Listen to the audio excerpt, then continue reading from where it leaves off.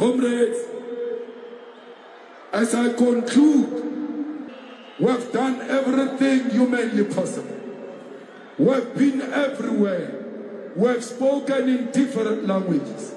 Comrade Deputy President, we've followed the manual as was presented before us. We've gone door to door. We've done canvassing sheets. We've spoken to South Africans. There is nothing we've not done to speak to the people of South Africa. Now it is in the hands of the people of South Africa. Now the people of South Africa must decide if they want unemployment. They must decide if they want load shedding. They must decide if they want to remain landless. The people of South Africa, it is now in your hands. We live here very proud that we did everything to make our generation very proud.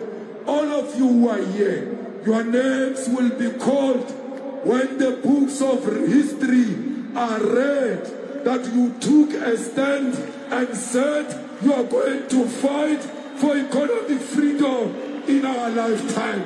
Let's go out, let's go in our numbers, let's mobilize our people, the ground forces of the EFF. Now is the time for economic freedom in our lifetime. Now we have a responsibility to vote for the government of the people, for the people, to vote for the people's education. Amandla! Amandla! Amandla! Viva Iapa, viva! Viva Iapa, viva! Aule Iapa, aule! Aule Iapa, aule! Ata Iapa, tata! Thousands of economic freedom fighters, EFF supporters gathered at a stadium in Polokwane, South Africa for the party final election rally. South Africa, four main political parties have concluded their campaign ahead of the uh, of what be a pivotal election, making a potential turning point of the countries after 30 years.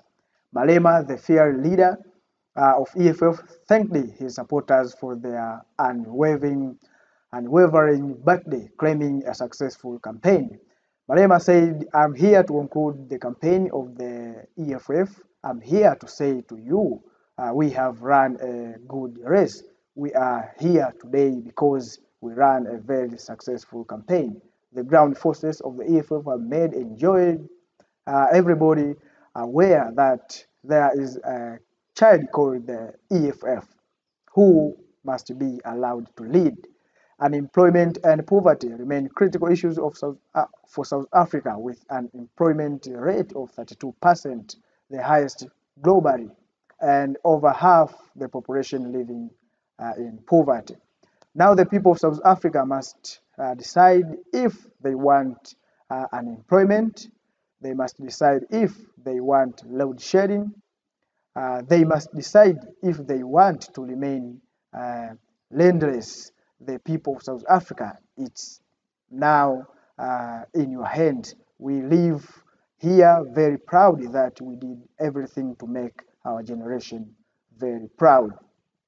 The election began with a special voting on Friday, May uh, 27 at 9 South African uh, mission abroad. This will be followed by the main election on May 29th uh, across all provinces, determining the uh, composition of both national and provincial uh, registration.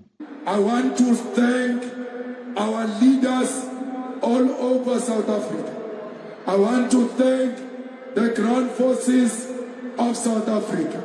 I want to thank the officials of the EFF and special thanks to our Secretary General who was serving as a national coordinator of election.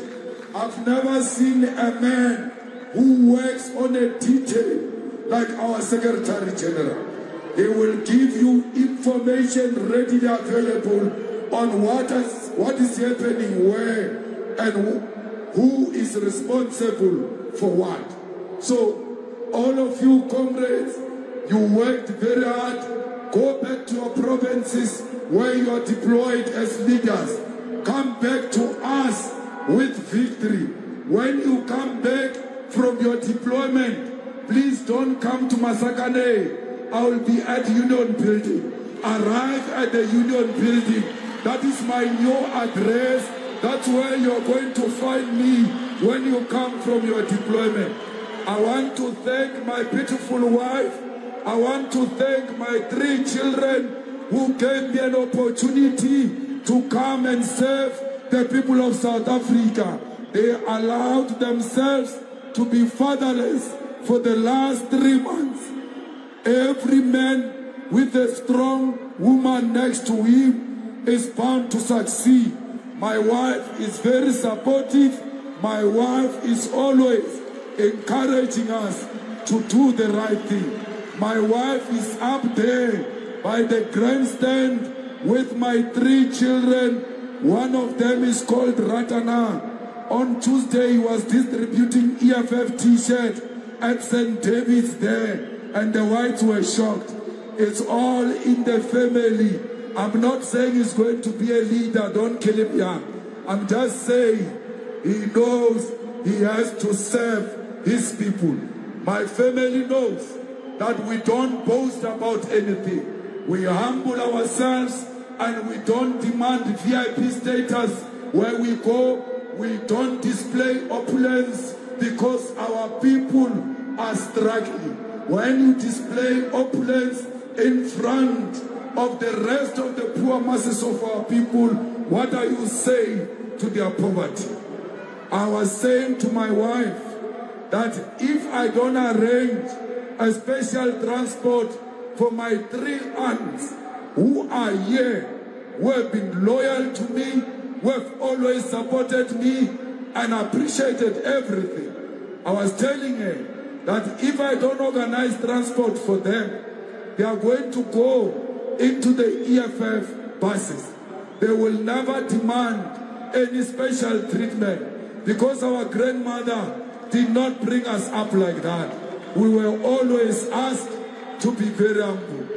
When I was telling her the story before we came here, we were watching TV. The next thing we see Manitra Fina on TV with the masses going up and down. ke ra ke re nka se ba organise tse transport bona o o tshwere flaga o na le di-masses why we come from a humble family i say to my mother-in-law and all of my in-laws continue to encourage your child to do the good thing we are encouraged to call you as family today you are sitting here with our big family.